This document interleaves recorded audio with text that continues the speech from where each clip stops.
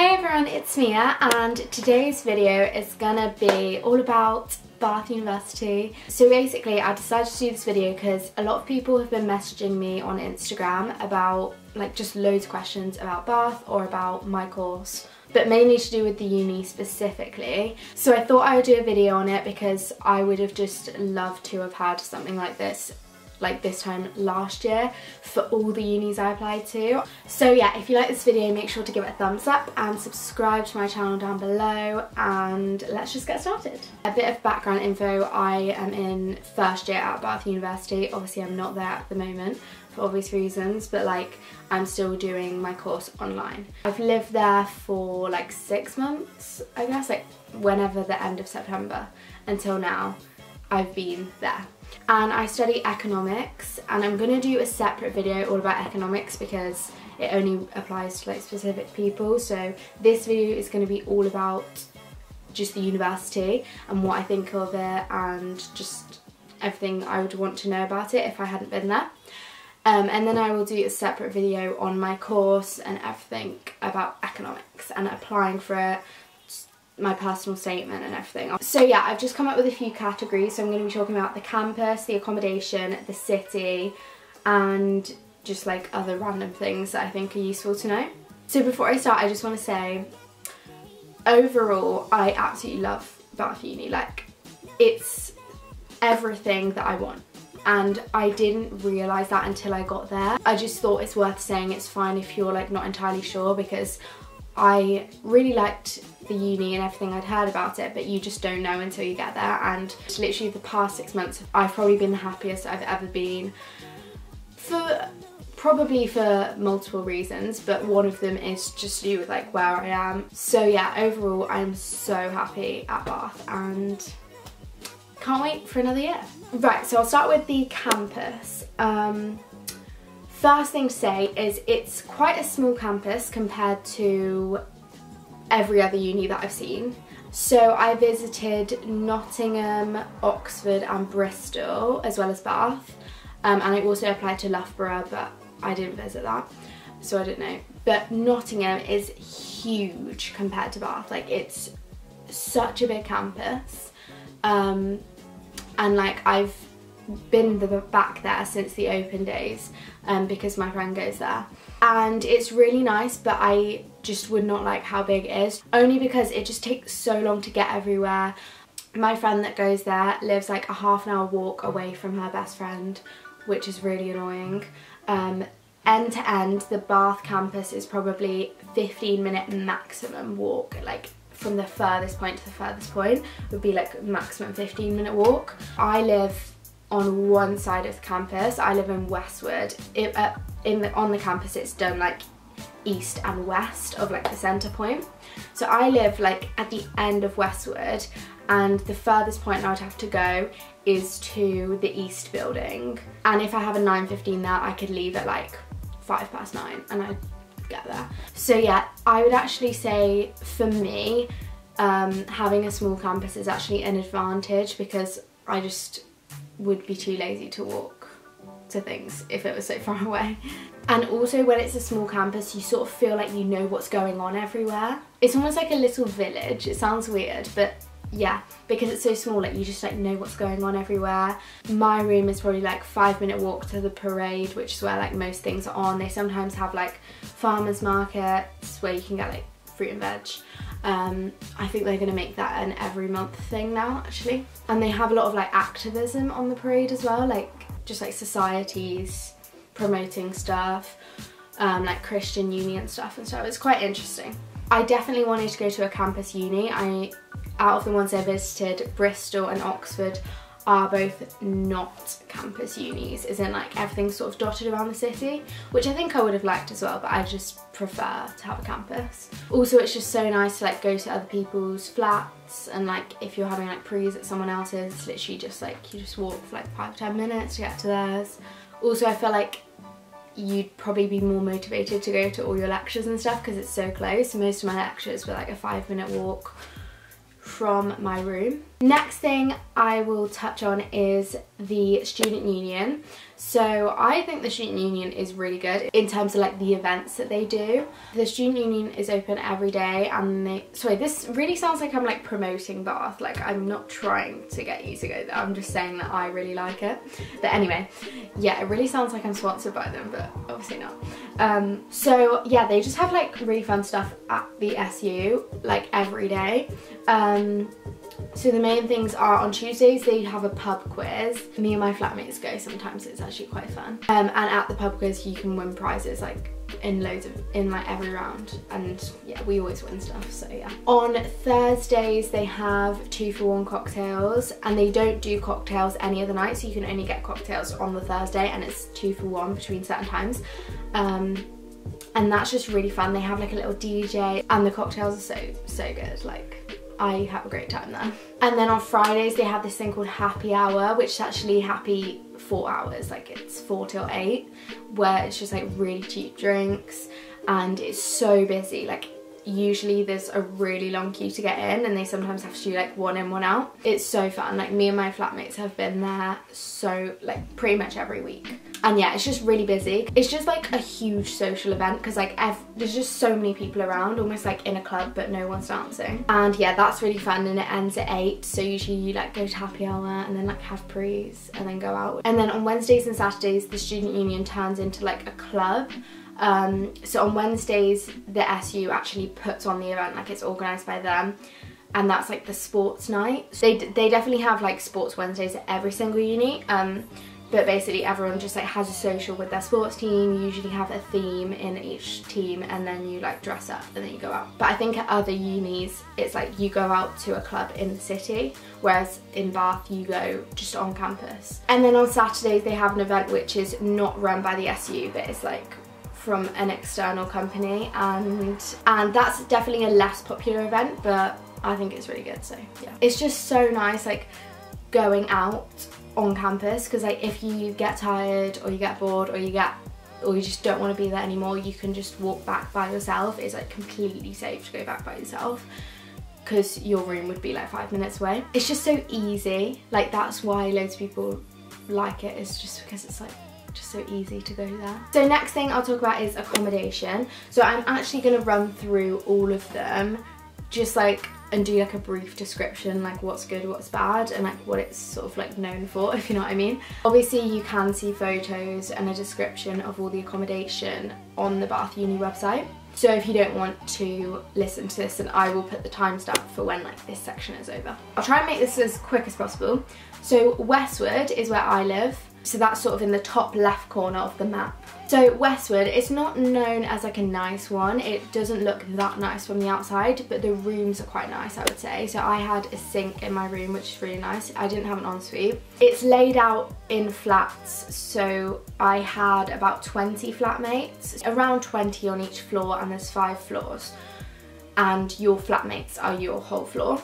And we had three kitchens on each floor yeah, like people just like go in whatever kitchen, but you're like one that you cook in would just be closest to you.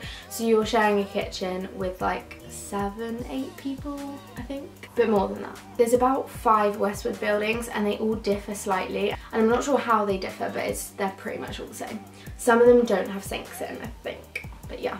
But the thing I like about it is that it's so sociable because you have 20 flatmates, which is obviously quite a lot. And then also you've got five floors. So it's about 100 people or just over in a building. Next one is Eastwood, which is like top right of the map. These are laid out like houses. So you're so you'd have like only a few rooms on each floor but then it's like a house kind of and then a kitchen at the bottom so your flatmates are everyone in that building um, and you share one kitchen between about 13 people. So quite a lot of people sharing kitchen. And again it's not en suites so you just have like a few like one shared bathroom on each floor and just like a few rooms on each floor. So yeah. Oh and I forgot to say that mine was like four toilets and like seven showers or something like that between 20 people but I've never had to wait for a shower, never had to wait for anything, like it's absolutely fine and it gets cleaned so yeah. Next one is Norwood and this is known as like probably the the least nice one, but the rooms are actually quite nice. Um, like they're quite big.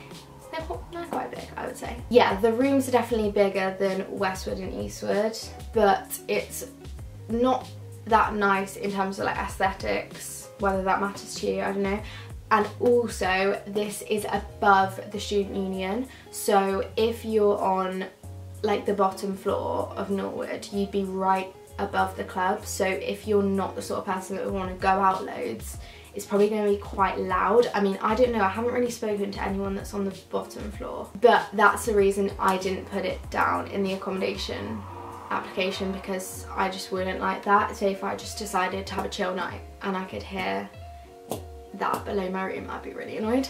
But if you're on the bottom floor and the floor above that, then you get free entry to Wednesdays and Saturdays. And I'm not sure how many people to the bathrooms and stuff there. Next one is quads and this is like known as the nicest one. Um, just because it's like quite modern, it has like mood lighting in the rooms, has really good social spaces. So like you have a massive kitchen and then a massive lounge as well whereas most places only have like a kitchen slash lounge like in one. But yeah they have like a lounge with a big TV we don't have TVs in Westwood or Eastwood I don't think. But people bring them so you you do have a TV but it just doesn't come with the room. Quads is where there's like a lot of prees because it's like just really big social spaces. But I will say that this is the place where I've seen the most mess. Like it's actually disgusting, the kitchens. Even though the kitchen is really big to accommodate for a lot of people, I don't, I'm not sure how many people, but um, it's a lot more people sharing the kitchen, but the kitchen is huge, so there's enough space, but because there's so many people, there's just so much mess. Also, the quads rooms are quite small, like they're not they're definitely smaller than Eastwood and Westwood, even though Quads is more expensive. Um, so yeah, depends whether you care about that sort of thing. Also, I think they have TVs in the rooms, like they come with the room. Next one is Solsbury and Marlborough Court. I've only been into Solsbury, but I think they're quite similar. But they're, they're, they're really nice, I would say. The kitchen is shared between like 12 people-ish, I'm pretty sure. Um, really nice rooms, ensuite, nice rooms in terms of like colours, it's all very neutral and white. Uh, nice kitchen. Next one is Brendon Court. That This is sort of part of Westwood. It's pretty much the same as Westwood. I can't think of like really any differences apart from the layout. It's really hard to explain the layout, but it's just different. Um, but it's pretty much the same as Westwood. And the last one is Woodland Court and this is the elite accommodation. They have double beds. I'm pretty sure it's the only accommodation on campus that has double beds. And it's just so nice. It's just so nice. Like that's that, they're the best ones, but it's probably the most expensive. That's all the accommodation. Hope that helps. The main thing I'd say is it doesn't actually matter which accommodation you're in. Like, it's more about your flatmates um, and that's sort of just luck. I absolutely love my flatmates, but it literally wouldn't have mattered what accommodation I was in, really, because people go to each other's flats all the time. You have prees like in loads of different places. Also, Bath have a really weird way of doing accommodation. It's not first come first serve. You have to put down seven that you'd be happy to have which is just stupid and you'll see you'll see they'll, they'll explain it on the website but um, it's a bit of luck really. mine wasn't my first choice, but I'm glad that I didn't get my first choice, so yeah. Next category is the city. So, I love Bath. It's so lush. Like, it's just such a lovely place. Everything, just so many pretty streets, so many nice food places, nice bars, restaurants, loads of shopping. They have an amazing Urban Outfitters. I've been in that Urban Outfitters far too many times, spent most of my money there. It's such a gorgeous place. It's so safe. That is what I love the most is I feel so safe. You could probably walk home from a night out by yourself and you'd be fine. Like obviously I'm not recommending it but you literally would be fine. Whereas you couldn't do that in like most big cities. In fact I literally can't think of any other city that you'd be able to do that. But Bath is, it's almost like a town um, but there's so much to do. Also, I don't think it's that expensive. I'm not, I can't really think, it's really hard to judge and it really depends where you're from and like in comparison to your area and everything. But on the whole, I wouldn't say it's that expensive. Um, the things that are probably more expensive just because it's like in the south probably rather than the north um, is Ubers are more expensive. I noticed that when I was in Manchester, Ubers were really cheap. Yeah, Ubers and taxis probably have a little bit of a higher higher price, but from town to campus, it is six to eight pounds in an Uber. So yeah, if you're sharing between four people, it's like two pounds maximum. But in terms of drink prices, like all pretty much all the nights out you'll go on will be a student night, so it will be cheap prices. It just depends where you go, really. Like if you're going to like a really nice pub or restaurant, then it probably is going to be expensive, but you just have to find the right places. Next thing worth noting is that all the events are themed which sounds weird, but it's actually really fun. So obviously on Wednesdays, if you're like in a sports team, there'll be a theme for that. Saturdays always have a theme. And then the main club in town, um, they always have a bit more of a dress up theme on Mondays. So it would be like more of a fun thing, like maybe you have to get an outfit for it. And then on Fridays, it'll more be like a music theme not like a not really like cheesy music but let me get some examples of the themes the friday night ones are not dress up at all though it's like it'll just be a music theme or like not really like all the music's quite similar every week but they'll just like throw in a song here and there if you know what i mean nostalgia 2010s throwback but not every song will be a 2010s throwback they'll also do like normal music as well um, hip hop takeover, international love.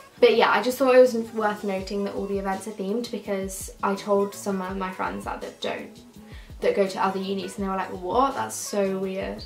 But it's really fun. So yeah, there's a lot of dress up in Bath. There's a lot of dressing up. Also, another thing worth noting, there's no raves. There's no there's no raves in Bath. If you want raves, don't come to Bath because there's none. Yeah, it's just not that type of place at all. There are clubs that do like more cheesy music, ones that do like more cool music, ones that do like throwback stuff, disco stuff. You've got quite a big range, but there's no raves. Also, I forgot to mention that the clubs in Bath are quite small. The main one that people go to, it's kind of like you go into a bar and then you go down steps and like the club is underground um, and then the smoking area is upstairs like in the bar. So it's quite small like all the clubs are quite small. The maximum capacity of the biggest one is like 1200 people and that is the one on campus um, so if you're thinking of clubs like Prism and like those big clubs with loads of floors like there's nothing like that in Bath. Obviously you can go on nights out to Bristol um, but yeah, the style of the clubs in Bath is quite unique. But the good thing about that is, especially if you go on a Uni of Bath student night, like you will just see absolutely everyone you know like everyone in the club you'll probably know them. So yeah it's quite fun. Also another thing is there's quite a few nice bars that do that almost is like a bit of a club vibe but it's not a club but they do like nice music and drinks and stuff. For example, Revs is one of those places. Um, so they sometimes have like one-off events where they turn into a club.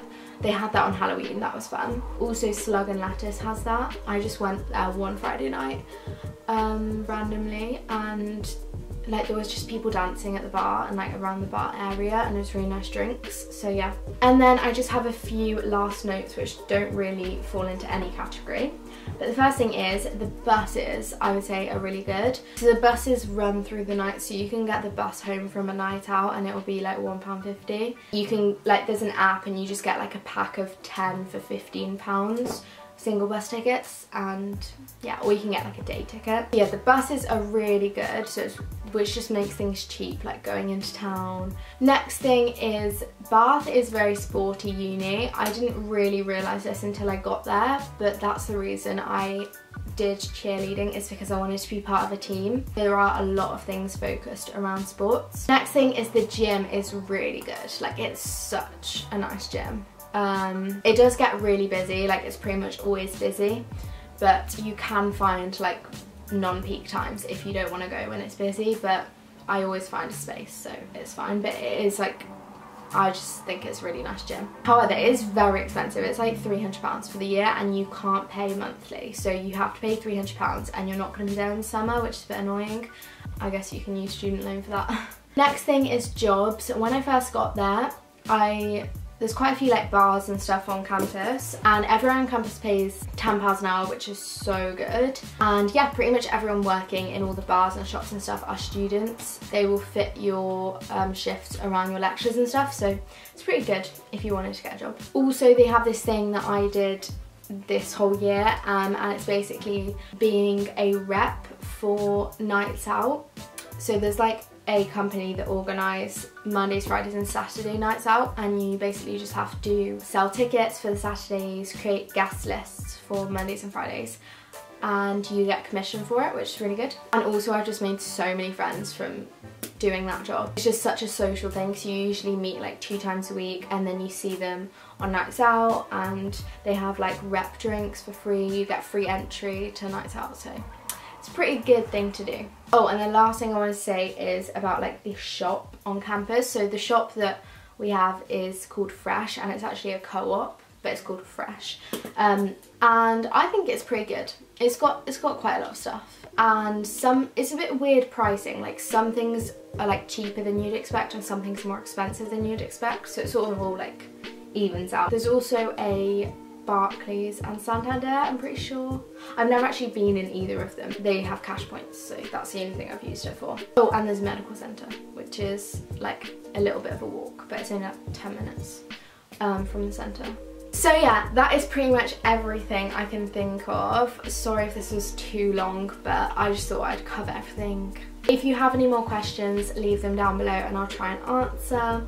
Again, I'm going to do a separate video to do with um, like economics and stuff because most people won't be interested in that. Um, yeah, and I'll cover in that video about like what I think about like teaching and everything. Obviously that varies course to course, so I literally couldn't comment on it for anything other than economics. But yeah, I hope that helps everyone that is thinking of going to Bath.